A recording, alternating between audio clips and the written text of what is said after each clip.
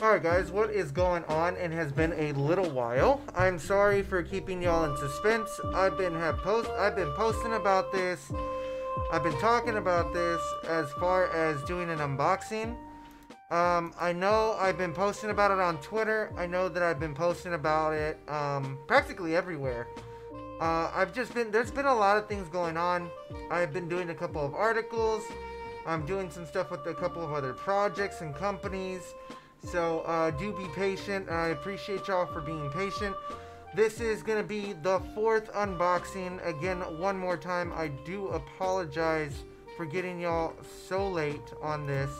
Uh, that is absolutely my fault. I had a little bit of an error right there.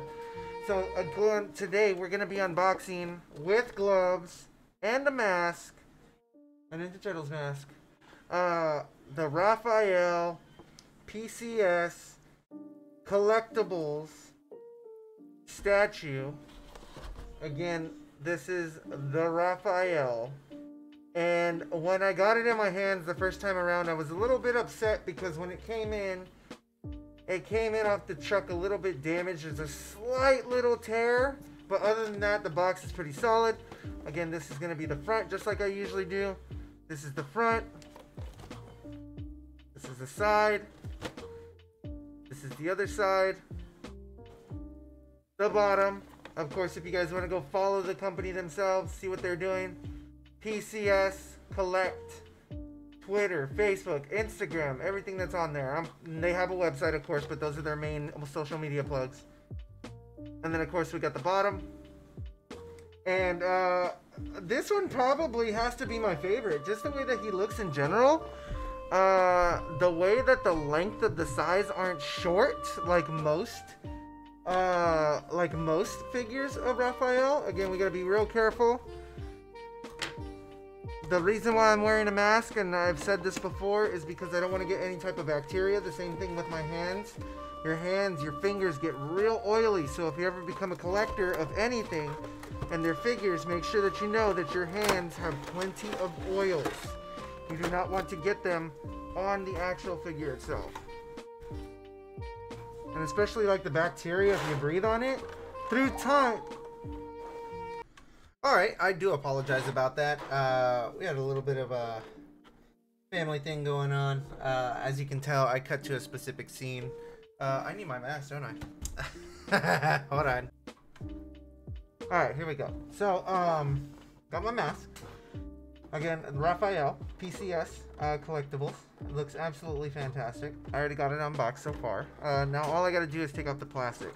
So, I'm gonna be very careful is doing so, just like we did the other ones. Oh. Go ahead and put this over here. And let's take him out and get a good look at him. As I stated before, the sais are what uh, what amazed me most out of this whole thing, just because of how long they are. Most uh, most sais, most weapon um, production on on uh, Teenage Mutant Ninja Turtles, there's the the the weapon is usually like a lot smaller than this, but it's like a complete length of the side that he would generally use in the cartoon or even the movie. If you remember the movie, that's the way that he would kind of hold them, exactly like this. Um, but he looks beautiful. Absolutely love him. Uh, the side, that's a little bit of dust. I don't know why there's dust. Of course, he's standing on the rooftop, part of a rooftop. R, of course, the detailing on it is great. It even looks like the belt can come off. You know, they actually did the indentions in to where, to where they're dipped in.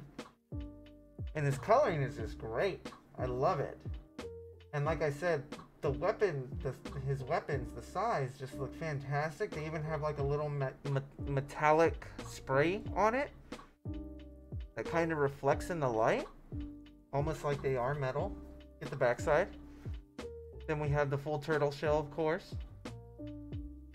Piping along the bottom of the rooftop.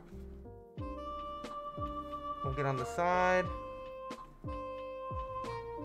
He just looks fantastic. He looks sick.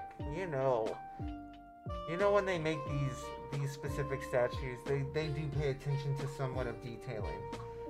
Uh, if not, they they find people who do the detailing for it. This is the this is their representation of their statues. It is great. I love it. I cannot wait to get all four of them uh, together. I'm gonna take some photos here in a little bit.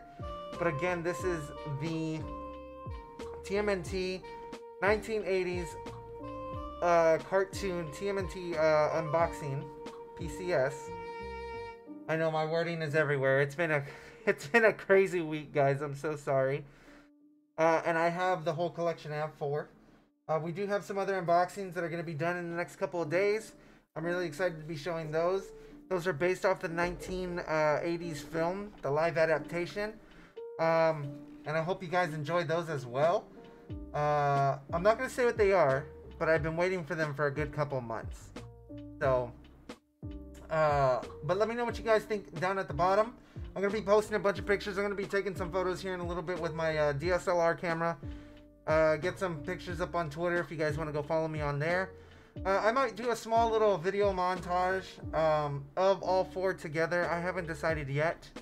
Uh, that way I can post it up on YouTube. But uh, stay tuned. Don't forget to like, subscribe, follow, and and uh, comment for additional content. Uh, if you're liking this type of content, these type of unboxings.